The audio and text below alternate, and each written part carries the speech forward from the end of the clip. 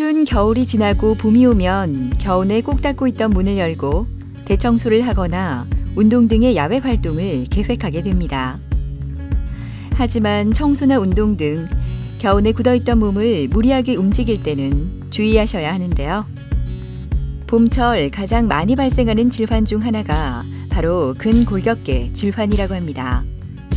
갑작스럽게 신체 활동을 하게 되면 경직된 근육이나 굳어진 관절들이 놀라면서 어깨나 허리 부위에 극심한 통증을 일으킬 수 있다고 하는데요.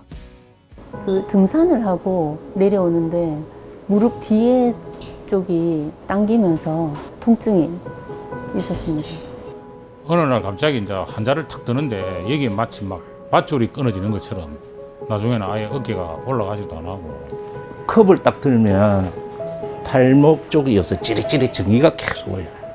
근골격계 질환은 반복적인 동작, 부적절한 작업 자세, 무리한 힘의 사용, 온도 등의 다양한 요인으로 발생하는데요.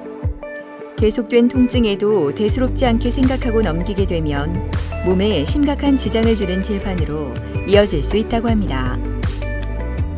하지만 개인의 상태에 따라 비수술적 방법으로도 충분히 치료할 수 있다고 하는데요. 오늘은 근골격계 질환에 대한 양한방 통합 치료의 모든 것을 옥진아, 강원범 원장과 함께 자세히 알아보도록 하겠습니다.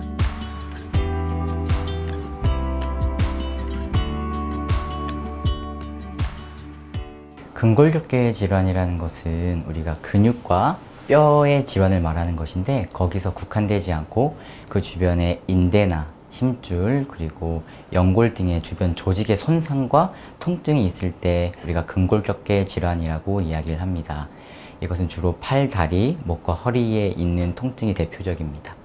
우리가 원인으로는 주로 급성적인 원인과 만성적인 원인으로 나눌 수 있습니다. 급성적인 원인으로는 외부에서 타박상이 있거나 그로 인한 골절이 있을 수 있고 뿐만이 아니라 갑자기 어떤 무거운 물건을 들거나 안 좋은 자세로 잠을 자는 등으로 인해서 담이 걸렸다고 표현하는 원인으로 발생할 수 있습니다. 만성적인 경우에는 반복적인 사용 그리고 계속 일을 하, 면서 발생하는 미세한 손상이 누적되어 발생하는 것입니다.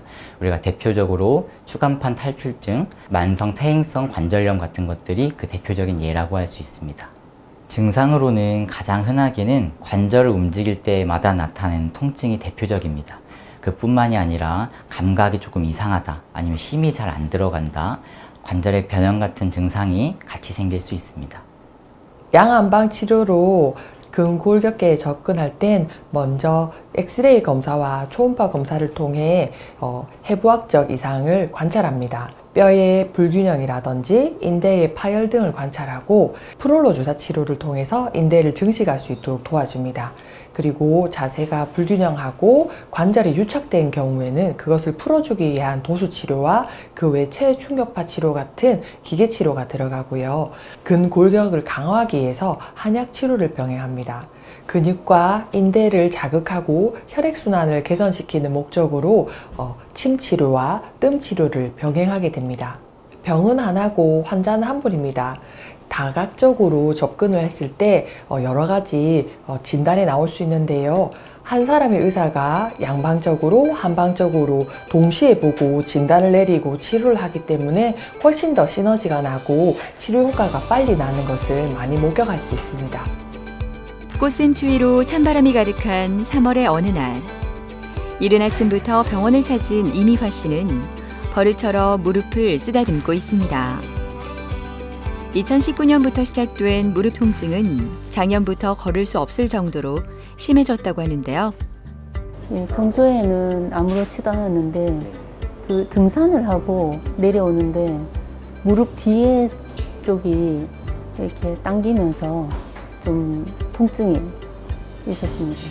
좀 예, 찌르는 듯한 그런 예, 통증이었던 것 같아요. 어, 다른 병원을 여러 군데를 다녀, 다녔고 또 약물 치료도 받았는데 안 나아서 지인이 이 병원에 와서 완치, 완치를 했다고 해서 제가 오게 되었습니다. 치료를 한 달 반 정도 이 병원에서 받았는데 어, 지금 80% 이상 통증도 없어지고 생활하는데 어, 굉장히 좋아졌습니다. 안녕하세요, 환자분. 안녕하세요. 예, 예. 요새 잘 지내셨어요? 예, 잘 지내고 있습니다. 예. 네. 지금은 상태 좀 어떠세요? 지금은 통증이 네. 어, 거의 없어진 상태고 아, 네, 네. 네, 생활하는데 음. 거의 불편함이 음. 없- 없는 상태입니다. 그죠. 지금도 양반 다리는 완전히는 안 되나요? 예, 그거는 아, 그죠. 완전히는 안 됩니다. 그래도 네. 이제 어느 정도 굽히고 네. 이제 좌식으로 말고 입식으로 생활하시는 거는 어느 정도는 괜찮으시다, 그죠? 입식으로 생활하는 거는 네. 예, 거의 뭐 이상생활에는- 괜찮습니다. 이상이 없습니다. 네, 네. 일상생활에는 네. 크게 지장이 없으시고 네. 그죠? 제가 한번 신체 검사해 보겠습니다. 네. 이렇게 눌렀을 때 아픈 거 있나요? 없습니다. 예.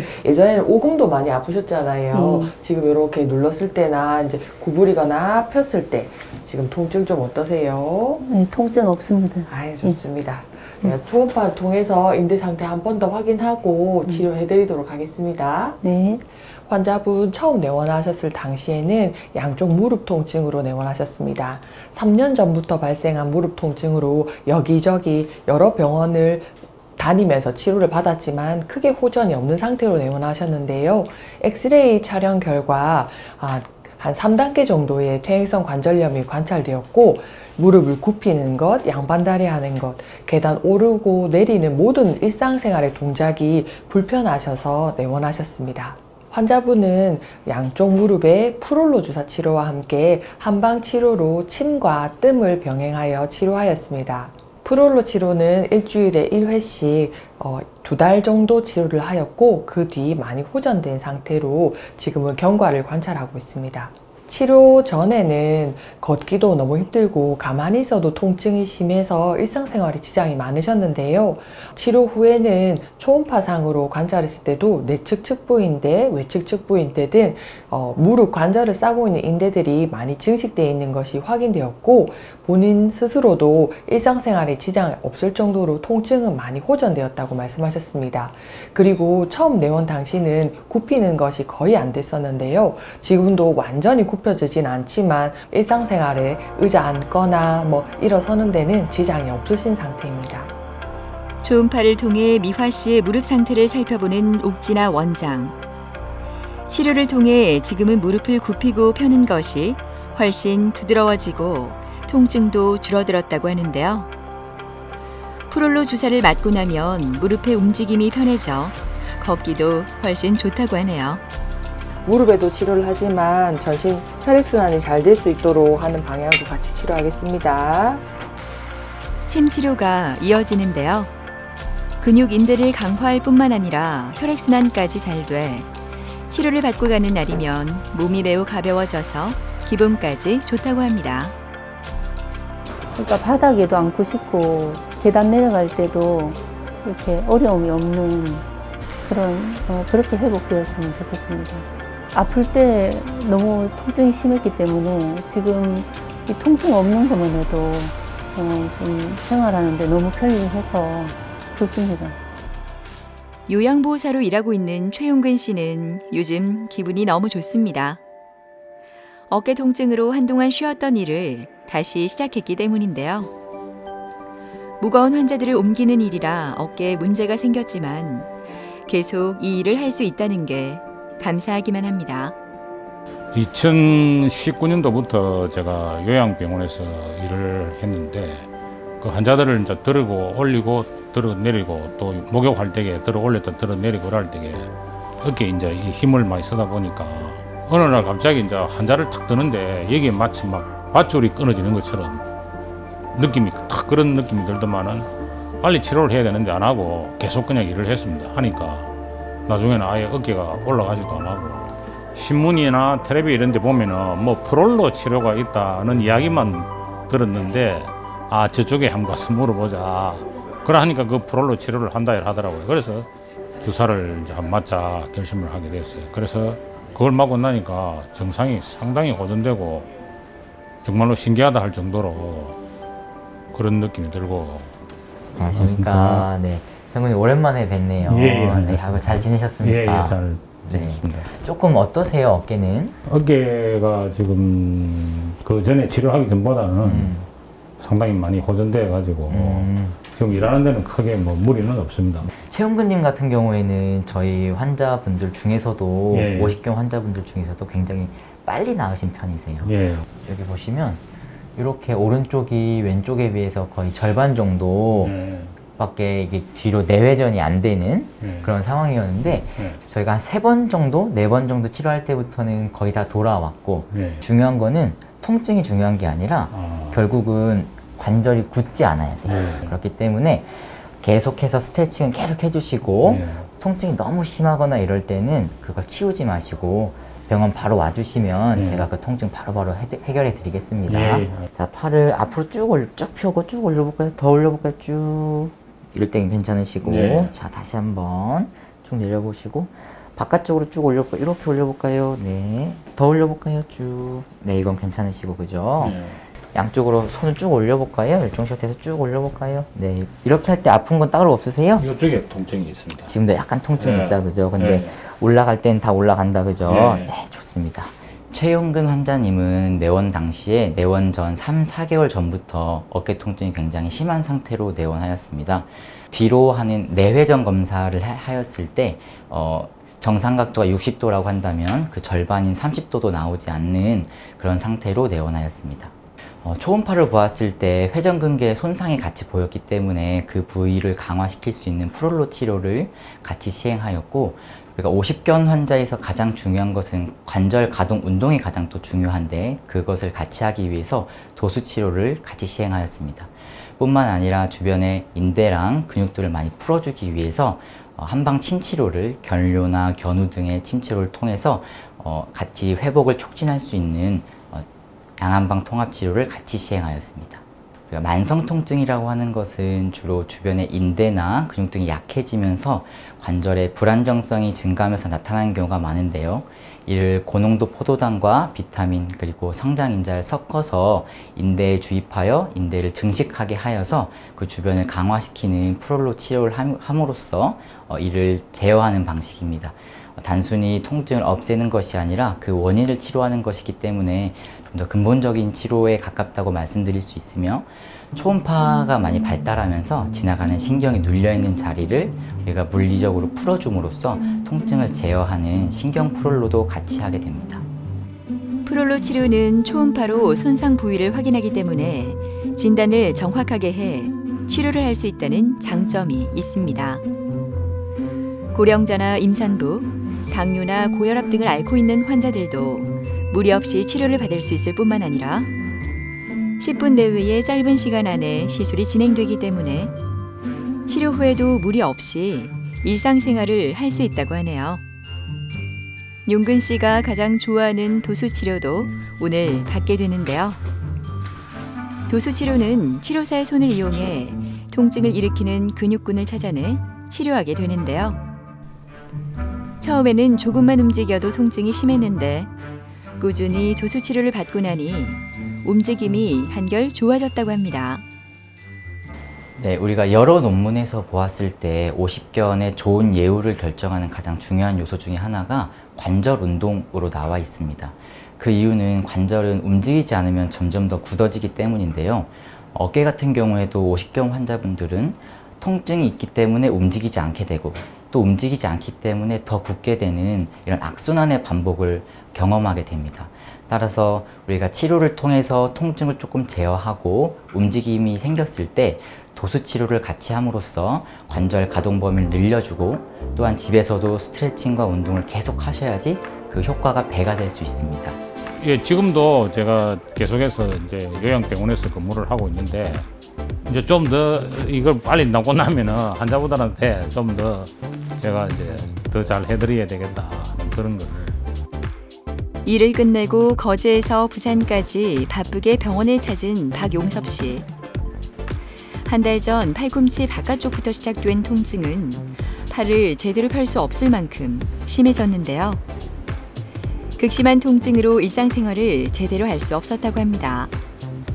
저거 직장이 여기 있어갖고 어, 우연히 이제 텔레비 보니까 방송이 나오더라고요. 그래서 아, 저도 팔이 아프고 이래서 관심 있게 보았죠. 일을 하다가 갑자기 그런 게 아니고 꾸준히 일을 하다가 본 게 많이 사용한 게 계속 아프더라고요. 컵을 딱 들면 이 찌릿찌릿 전기통 안하면 이제 찌릿찌릿하네요. 100% 했을 때 한 80%는 좋아지는 것 같아요. 많이 좋아졌어요. 어, 안녕하십니까. 반갑습니다. 아, 네. 오랜만에 뵙네요. 네. 네. 정말 팔꿈치 좀 어떠세요, 요즘에? 아, 예, 지금 어, 좋아졌습니다. 많이 좋아졌어요. 음. 지금은 이렇게 피거나 일상생활 할 때는 큰 불편함은 없으세요? 크게 먼저 무거운 거 갑자기 들 때, 음, 갑자기 들 때. 할 때는 뭐 젓가락질이나 컵 질 때는 음. 그런 정생이 없어졌어요. 아이고, 감사합니다. 네, 네, 네. 네. 그래도 저희가 완전히 나을 때까지는 이게 인대랑 근육의 손상이 예- 예전부터 누적된 거예요. 누적되다가 이게 온 거기 때문에 조금 조심해 주셔야 되고. 자, 여기 눌러봤을 때 좀 어떠세요? 어, 괜찮습니다. 여기 괜찮아요? 팔 이렇게 뒤로 해볼까요? 네, 저랑 힘싸움 할 거예요. 쭉 계속 올려보세요. 이렇게 했을 때 어떠세요? 어, 요, 요. 약간 온다, 예, 그죠? 네, 좋습니다. 이게 약간 그래도 남아있는 거예요. 그래서 이걸 이렇게 뒤로 젖히는 거는 조금 많이 피해 주시고, 일상생활에서도 이렇게 스트레칭 있죠? 이렇게 이쪽 쭉 펴줘야지 근육이 수축됐던 것들이 많이 풀리면서 통증도 그렇고 많이 편해질 수 있거든요. 네, 또 옆에서 제가 침 치료랑 또 프롤로 치료도 도와드리겠습니다. 네. 박용섭 환자분은 한 달 전부터 발생한 오른쪽 팔꿈치의 통증으로 내원하였습니다. 일 하시는 특성상 손을 꽉 쥐는 일을 많이 하시는데요. 오른쪽 팔꿈치에 국한되는 통증을 많이 호소하셨습니다. 그래서 이학적 검사를 하였을 때 오른쪽 팔꿈치 외측 상과에 압통이 있었고 또한 초음파로 보았을 때도 해당 부위에 인대 손상이 같이 있어서 어, 외측 상가염, 특히 우리가 흔히 말하는 테니스 엘보로 진단하고 치료를 시작하였습니다. 인대를 강화하는 프롤로 치료와 우리가 PRP라고 하는 혈장에서 수출한 성분을 같이 주입하는 치료를 같이 하였습니다. 한방적으로는 주료, 또 수삼리 등 주변 혈자리에 산침이라고 하는 미세한 침을 어, 많이 꽂아 넣는 치료를 같이 시행함으로써 통합적인 치료를 같이 시행하였습니다. 양방적으로는 platelet rich plasma라고 하는 PRP 주사를 많이 사용합니다. 이는 혈액에서 어, 혈소판이 풍부한 혈장을 우리가 채취하여서 인대에 주입하는 방식입니다. 그 혈장에는 성장인자가 풍부하기 때문에 인대 증식에 큰 효과를 주기 때문에 PRP 주사를 팔꿈치 질환 환자들에게 많이 사용합니다. 한방적으로는 산침을 많이 쓰는데요. 어, 산침이라고 하는 것은 미세한 침을 인대와 해당 주변의 근육에 자극을 하여서 어, 순환을 도와주고 인대 재생을 도와주는 치료입니다. PRP 주사 치료를 위해 체열을 하는데요. 우리 몸은 상처가 생기면 스스로 치유하고 재생하게 되는데 자연 치유 과정을 위해서는 혈액의 역할이 매우 중요합니다. 이 혈액을 이용해 염증을 완화하고 혈관을 재생해 척추 관절 통증을 줄여주는 치료가 바로 PRP 주사입니다. PRP 치료는 다양한 관절 질환에 사용할 수 있지만 테니스 엘보나 골프 엘보 같은 상과염 질환에 효과가 좋다고 합니다. 특히 재생 능력이 뛰어나 염증과 힘줄의 미세 손상, 파열 치료에도 많은 도움을 줄 수 있다고 하네요. 이어지는 치료는 염증 부위 주변에 여러 군데 침을 놓는 산침 치료입니다. 인대를 강화하는 뜸 치료까지 병행하면 팔꿈치 통증과 움직임이 훨씬 좋아진다고 하네요. 네, 양방적으로는 초음파로 해당 부위를 직접 보면서 주사 치료를 통해 그 부위를 자극하고 치료하는 데 매우 효과적입니다. 한방적으로는 침뜸을 이용하여서 주변 근육을 풀어주고 혈액순환을 돕기 때문에 통증을 제어하고 재생을 돕는 효과가 있습니다. 따라서 이 둘을 함께 사용하였을 때 시너지가 있고 더 효과적이고 빠르게 나을 수 있습니다. 좋아지면 테니스하고 또 일도 꾸준히 하고 어, 관리도 좀 하고 싶습니다. 식당을 운영하는 조홍일 씨는 바쁜 점심시간을 보내고 잠시 쉬는 시간을 이용해 병원을 찾았습니다. 2년 전 목 디스크 시술을 할 정도로 목 통증이 심했는데요. 작년 말부터 다시 시작된 통증으로 식당을 그만두고 싶을 정도로 힘들었다고 합니다. 제가 이제 일을 하는 도중에 고개를 숙이고 이런 동작이 반복이 많이 되는데 그때 이제 이게 어깨 약간 오른쪽 뒤쪽으로 해서 어, 어깨 밑으로 팔까지 약간 이제 저림 현상하고 약간 통증이 그때 좀 시작됐죠. 뭐. 서 있을 때는 크게 뭐 문제가 안 되는데 특히 좀 이래 딱딱한 의자라든지 그렇게 앉아 있을 때 보면 이제 저림 현상이 좀 심해지고 굉장히 불편하죠. 이게 많이 불편해.